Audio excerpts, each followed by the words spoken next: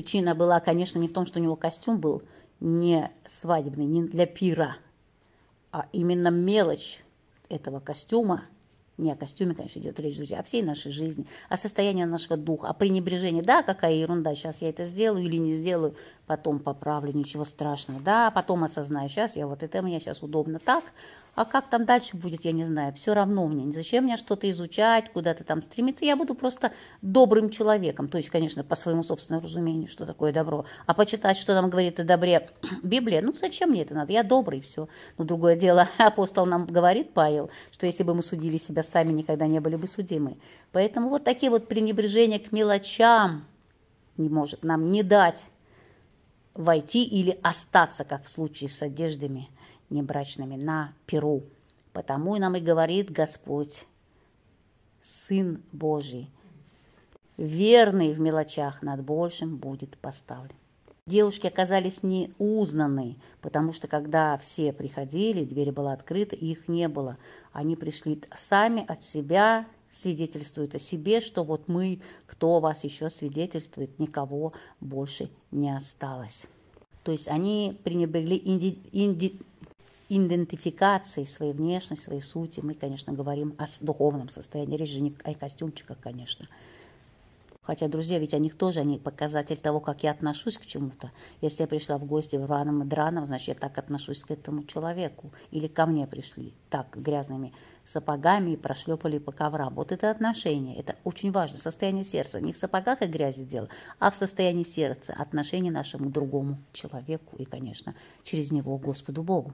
Поэтому вот эту притчу очень важно понимать в общем контексте. Дальше нам говорит Христос, он же не просто переключается с одного момента на, другом, на другой, он нам дает тему, освещает определенную тему, важность – вот всех мелочей нашей жизни, потому что мы, во-первых, часто мелочи не отличаем от главного, это тоже очень момент у нас сложный, а с другой стороны ничего не бывает, никакой мелочи в этом мире, никакой букашки, ни таракашки. Господь знает все лапки вот этого жучка-паучка, Он каждого создал для определенной цели, у человека все продумано, ни один волос не упадет без воли Бога. О чем это говорит? Конечно, законы, созданные Господом Богом, работают сами по себе, но Он их создал, и Он им дал возможность работать самим по себе. По себе, значит, то есть по Богу, ибо создал их Господь Бог. И все законы работают по Его воле, и у Него всегда есть власть вмешиваться в любой закон. Часто мы это и называем чудесами, это вмешательство. Но беда в том, что мы сами иногда сочиняем вмешательство и приписываем чудеса всему и вся.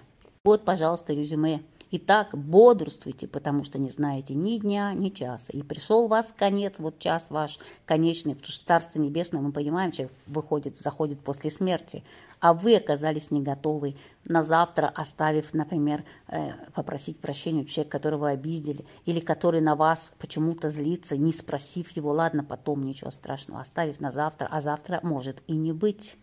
Поэтому говорит нам Христос, достаточно вам печали дня сегодняшнего – не надо печалиться в том, что завтра. Делайте все сейчас. Завтра может и не быть. Об этом идет речь. Не знаете ни дня, ни часа, когда придет ваш жених за вами. То есть наш Господь Бог, наш жених. Вот о чем идет речь. Никаких мелочей жизни духовной, жизни физической не бывает. Ибо будет, как с человеком, который, уезжая, позвал рабов своих и вручил им имение свое. Видите, а то же самое, ибо будет, то есть это продолжение первой притчи. Будет с вами, будете не к мелочам не внимательны, не захотите понять, что к чему, для чего, не сочтете это, да, это не важно. Я не знаю, я рос там, где этого не было, никто мне ничего не рассказал, а то, что у тебя всегда есть возможность говорить с живым Богом, и Он даст тебе и людей, и книги, и события, через которые ты будешь двигаться к пониманию. А зачем мне это? Мне это хорошо, я схожу в воскресенье, постою, и все с меня хватит. Вот о чем идет речь, друзья. И поэтому продолжение. Подобно будет так случиться, если вы будете невнимательны к мелочам, как вот сейчас случится. Как человек, который уже позвал рабов своих и вручил им имение свое, и одному дал он пять талантов, другому два, иному один, как каждому по его силе, внимание, по его силе, и уехал. И получается, вот когда мы живем, нам такое, вот у нас такое ощущение, что Бог где-то там далеко, мы здесь своими делами заняты, когда нам надо, мы идем с Ним встречаться на место нами же назначенное, и вот Он там участвует в нашей жизни, мы Его спрашиваем, э, привлекаем, даем им на роспись наши планы. Вот у нас такое представление, он уехал, а мы здесь сами по себе. Конечно же, это именно то, о чем хочет нас сказать Господь Бог. Я никуда не уезжаю, я с вами. Для вас как будто нет, но я каждую секунду с вами, я вижу все.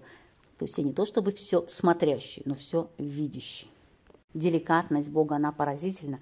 Он не подглядывает за человеком, как сам он и говорит об этом. Он очень любит человека, очень трепетно к нему относится и хочет того же к себе.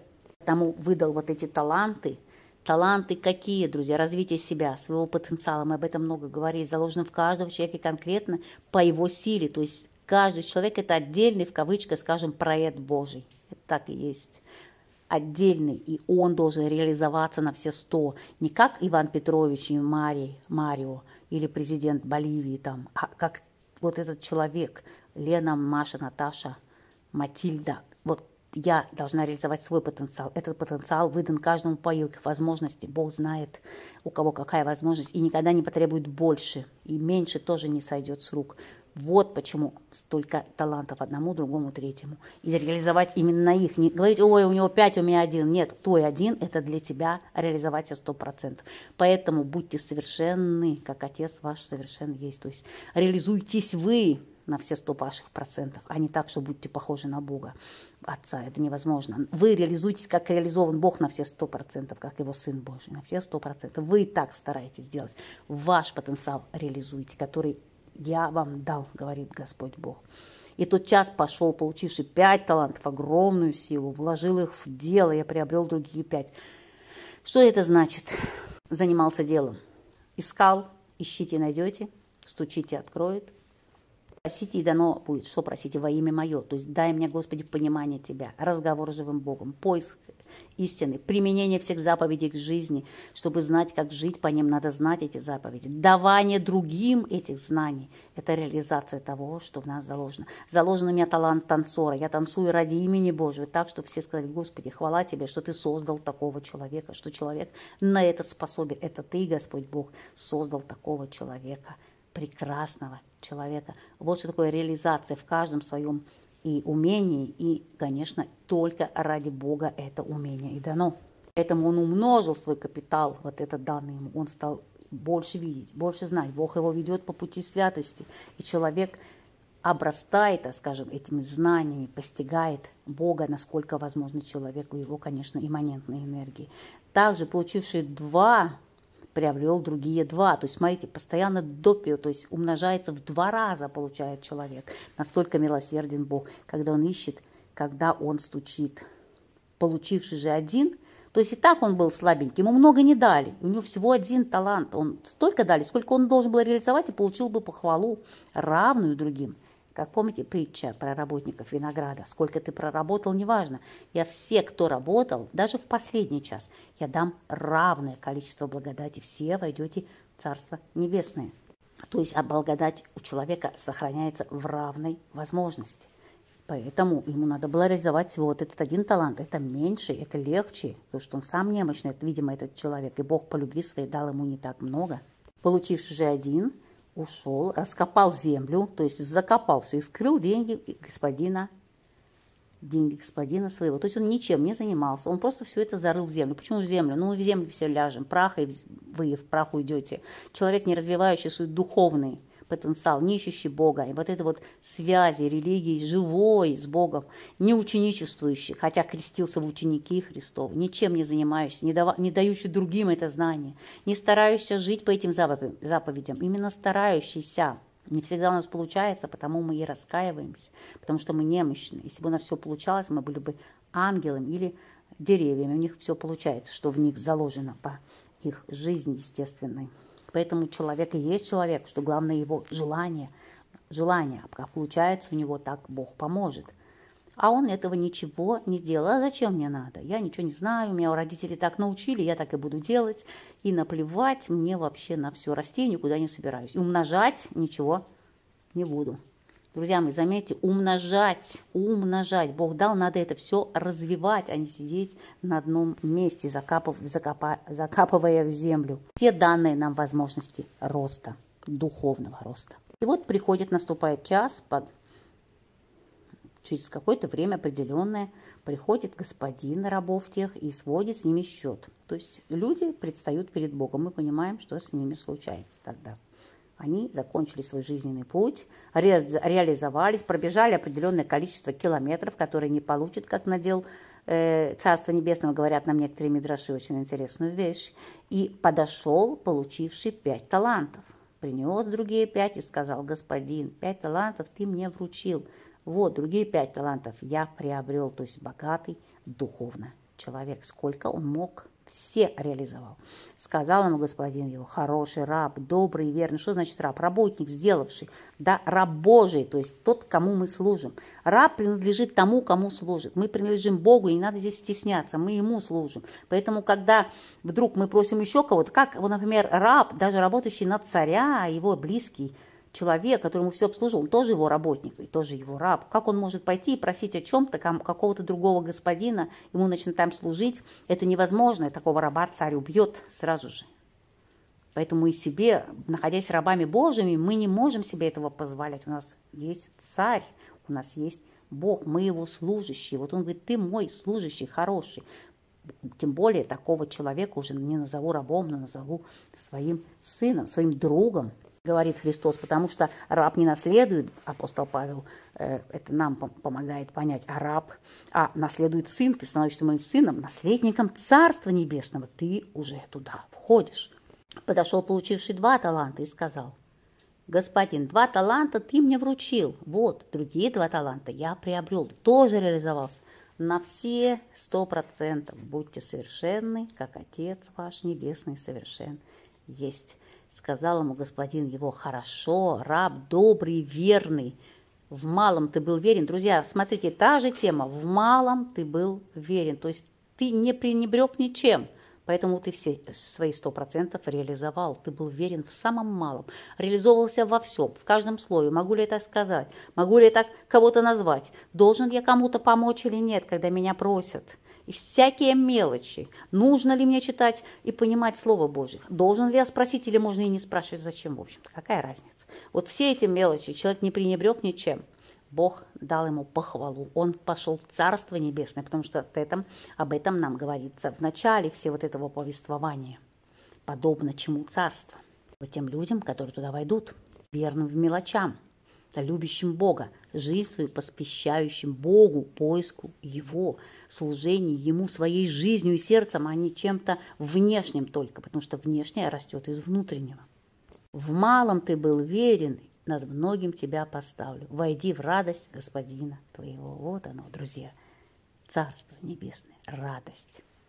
Подошел же и тот, у кого был один талант. Посмотрите, он последний подошел. То есть ему дано было больше жизни, больше пробежать. Бог видит, что он не реализуется, дал ему как можно больше жизни. Уж, наверное, до 110 лет, а он все, э, понимаете, ничего не собирался менять. Даже внутренне оплакал, может, того, что он ничего не хотел делать. Естественно, не оплакал, иначе он был бы прощен, иначе он был реализован даже в последнюю минуту своей жизни, как в той притче еще раз скажем о винограднике. И сказал, господин, я знал тебя, что ты человек жесткий, жнешь, где не сеял, и собираешь, где не рассыпал. Очень много вопросов по поводу этой строчки. Даже не важно, я знаю, что вот я расту в таких определенных условиях, ты мне не дал ничего. Я не знаю ни Христа, ни Писания, никакой милосердия, ни заповеди твоих, но ты все равно будешь меня собирать, ты будешь меня спрашивать, я перед тобой стал после смерти. Ты здесь мне ничего не посеял, но с меня спрашиваешь, ничего не дал, не... а, ну жнешь там, где ты это не посеял, ты мне ничего не посеял ну и собираешься, извините, собирать, как говорится, где не рассыпал, дал мне никаких крох тары. Помните ту женщину ханаанскую, которая говорит, что ей крохи собирают собаки под столами. Вот эти крохи, ты даже этого мне не дал, то есть это язычник скорее всего. Я ничего не знаю. Мои родители так делали, так кланялись, так соблюдали все праздники. Так вот они Пасху отмечали. А что ты от меня хочешь? Ты мне ничего не дал, никаких знаний. Я там, где родился, там и пригодился. Я, конечно, боялся, что будешь ты с меня, да, спрашивать. Я ничего не знаю. И в страхе пошел и скрыл талант свой в землю. Вот тебе твое. На, ты мне дал при рождении, ну и получи обратно. Вот такое вот отношение. И что, кажется, ну да, действительно, человек ничего не мог знать, его так научили, так его предки поклонялись. Ну и что, делали идола и бухали ему в ноги и обкладывали его дарами. Так все делали, и я так делаю. А почему я должен что-то другое менять? И ответил ему господин его, лукавый раб и ленивый. Ты знал, что я жну. То есть, видите, он мог не знать того, что с него спросится, но он знал. Он сказал, ты спрашиваешь с меня, хотя не сел. Ну ты знал, что я буду жать, спрашивать, где не сеял, и собирать, где не рассыпал. Вот его какое было испытание в этой жизни. То есть ему было дано мало талантов, не так много поднять. Жизнь дана была самая длинная. И он знал, что с него спросят, хотя он ничего не имеет, он не искал. Понимаете, что значит не имеет? Человек ищет, он ищет. Если у него что-то пропало, близкий человек, у него что-то пропало, он ищет, а он не ищет ничего, хотя знал, что умрет и с него спросят. Там, где не, не было дано конкретно, не родился он в какой-то семье просветительной, где ему дали возможность просвещать, не было у него уставлено тара, тарой, не знал он ни иврита, ничего, и не собирался учить. Видимо, родители простые, ничего не хочу.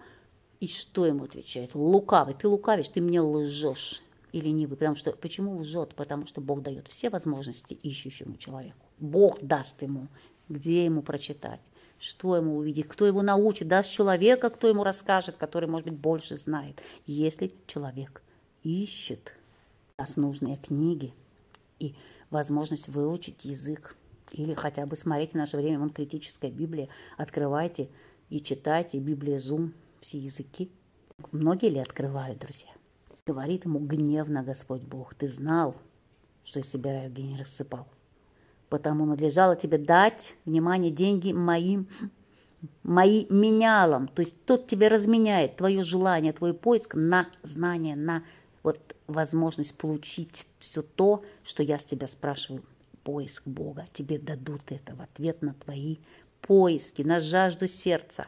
И придя, я получил бы свое с ростом. Понимаете? Вот Тебе достаточно было обратиться, искать, спрашивать, говорить со мной, говорить со всеми. Искать эти книги, я тебе все бы дал, и получил бы ты рост даже на этом, даже на малом ты получил бы свой рост. Этого было бы достаточно. Но ты ничего не стал делать. Возьми же у него талант, возьмите, говорит он своим служивым, наверное, ангелом, у него этот один талант, и дайте имеющему десять талантов. Те, кто искал те, кто жаждал, те, кто изучал, стремился, был милостив, исполнял заповеди, главное, исполнял заповеди все. Не говорил, что он не знает и не знал. Дай ему вот это еще, он будет иметь еще больше, чем он мог бы иметь, больше, чем сто процентов. То есть Бог дает всю полноту радости тому, кто ищет. Ибо каждому имеющему будет дано, имеющему что? Приобретшему, умножившему вот эти знания, Бог даст еще – Столько, как говорит апостол Павел, что и на сердце не всходило, и на умении лежало, что приготовил Господь Бог любящим Его. Вот это любовь Бога к Богу. Не просто слова, декларации «мы любим», «любите», «любовь», а любовь – это жажда познания, жажда применения заповеди, жажда Бога, Слова Его, Его живого. И у него будет изобилие у того, имеет вот эту жажду и вот это познание. У него будет изобилие, и у него, и у не имеющего будет взято и то, что он имеет. То есть то, что ему Бог дал, и жизнь, и возможность, и способность, возможность стать сыном, у него это будет забрано. Он имеет изначально благодать, данное мы говорили при рождении каждому человеку. Наша задача ее удерживать, а если потеряли, возвращать, как говорит Давид – не отними от меня лица твоего, и Дух Святого не отними от меня. То есть он уже имел при грехе, мы это теряем, но мы получаем обратно при искреннем раскаянии, поиске Бога. Так вот, у не имеющего вот этой жажды, потому что ему раскаяться-то не в чем. Если человек раскаялся, что он не жаждет и не ищет Бога, и не познает, и не читает, и ему это все не надо, то как он может раскаяться? Если он раскаялся, он начнет это делать. Вот этот человек есть злодей, а не тот, кто убил, ограбил, друзья. Это другой вопрос, другой. Этот злодей, но речь идет в Библии в основном об этих злодеях, которые не знают Бога, не ищут, придумывают его сами и тому служат, не интересуясь более ничем. И у не имеющего будет взято и то, что он имеет, то есть то, что ему Бог дал при его рождении. Это талант и благодать. И негодного раба выбросьте во тьму внешнюю, то есть за шатер, где есть пир, где есть Царство Небес, туда, где темно, потому что Бог есть свет. Ты Бога не знал, ты его не искал, ты его себе придумал. Вот и сиди с ним, со, своим, со, своим, со своей лампочкой шахтера на голове. Там будет плач и скрежет зубов. Плач. Очень интересный момент. Толкуется. Плач – это рождение ребенка. Скрежет зубов – это смерть. Последний вдох. И в этом тоже еще символический момент. Плач – это раскаяние, скрежет зубов. Это когда я что-то осознаю, но не могу уже исправить. Знаем это состояние скрежета зубов. Уже не могу, ну уже знаю, но уже не могу. Ничего исправить. Это та же поздность, так же поздно, как девы, которые побежали какую-то мелочь исправлять, когда уже смерть вот пришла, когда надо предстать перед женихом и входить в Царство Небесное. Подожди, Господи, я там, да, я помню, меня просил денег сосед совсем немножко, но я ему забыл дать. Просто забыл, да и потом вспомнил, но уже не хотел возвращаться. Я сейчас сбегаю, исправлю. Нет, уже не сбегаешь. Никуда. И вот таких мелочей, такого песка у человека за жизнь накапливаются целые мешки. Они его и топят. Они, эти мешки, вместе с этими мешками он не пролезает никуда в Царствие Небесное, потому что узок туда вход, и путь туда узок, и немногие восхищают его, друзья. Это нам не делается страшно. Немногие, а нам же кажется, что мы все туда идем. Нет, мы идем немногие, широк поход вот туда, в Шеол, в тьму кромешную, а вот в Царство Небесное узов вход, и немногие восхищают его. Те, кто жаждет его восхитить, те, кто жаждет всем сердцем. Когда человек жаждет, он ищет путь. Он не говорит, я жажду, я уже правильно иду. А если я иду неправильно? Вот этот вопрос и есть страх. А если я иду неправильно? Господи, наставь меня. Дай мне все то, чтобы я шел правильным путем к Тебе, в Твое Царство Небесное. Но не дай страшных скорбей и потрясений, ибо я немощен, ты знаешь. Вот этот скрежет, невозможность исправить. Это, наверное, самое страшное, друзья. Дальше такие торжественные слова, такая важная часть его писания, о которой мы очень часто с вами говорим. Итак, когда же придет Сын человеческий во славе своей? Мы знаем, что второй приход Христа будет во славе.